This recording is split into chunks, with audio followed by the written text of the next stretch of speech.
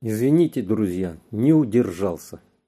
Вся страна отдыхает, развлекается, лежит на диванах, смотрит сериалы, и только Владимир Владимирович на посту. Не спит, думает о нас.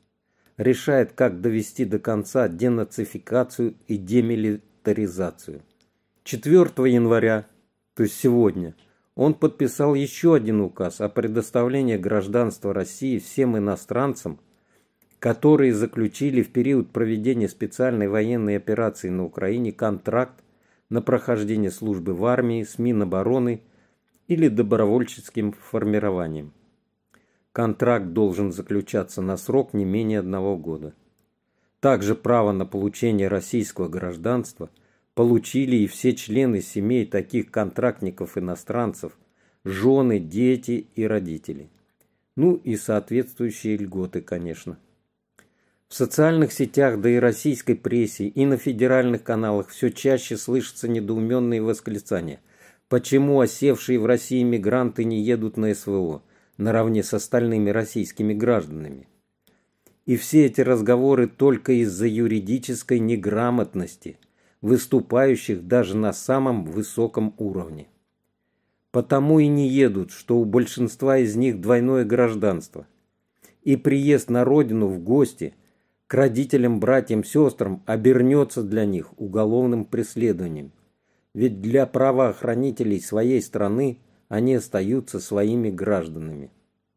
Один из депутатов Госдумы, видимо юридически подкованный, отметил, что в соответствии с действующим законодательством лица с двойным гражданством не подлежат призыву.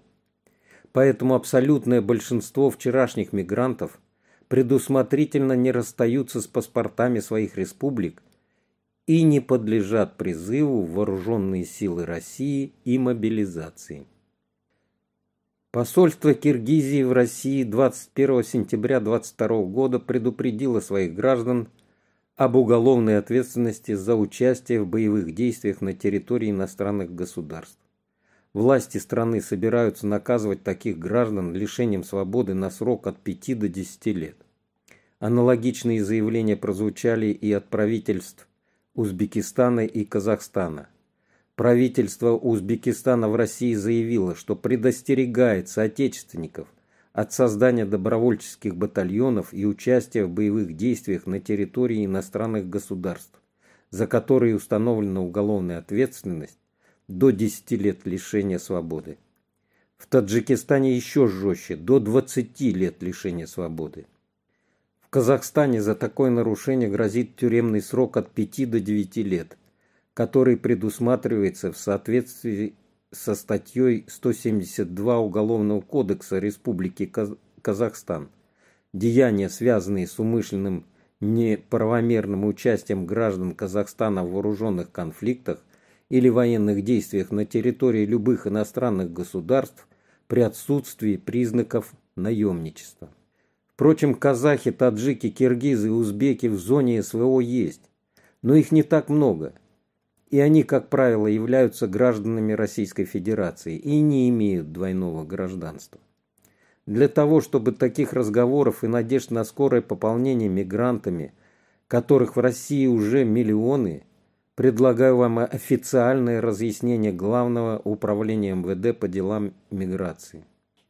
Иностранцы могут служить в вооруженных силах только по контракту, либо в том случае, если иностранный гражданин получил гражданство Российской Федерации и не проходил до этого службу в армии в своей предыдущей стране и при этом подходит под призывной возраст.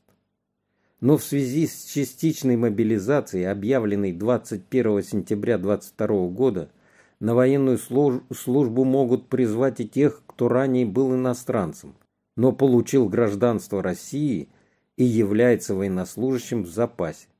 А согласно указу о частичной мобилизации у такого гражданина должен быть на руках военный билет, и он ранее должен был пройти службу в армии.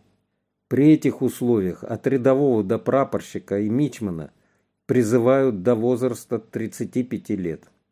Если звание офицерское, мобилизации подлежат граждане до 50 лет, а старшие офицеры до 65.